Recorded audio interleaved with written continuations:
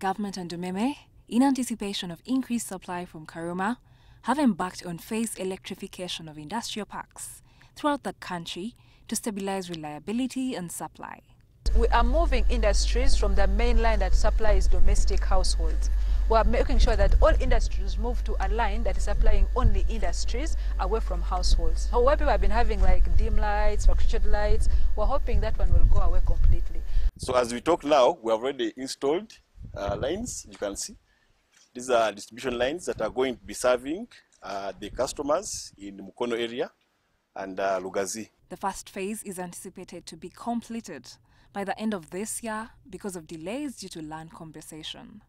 For substation, you can see it's totally completed, waiting for power to be fed in.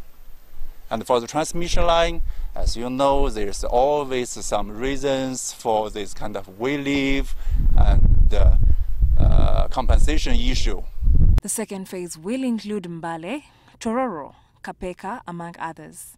The projects are financed through an $85 million loan from China Exim Bank and $15 million from government. Christine Kasemiire, NTV Business.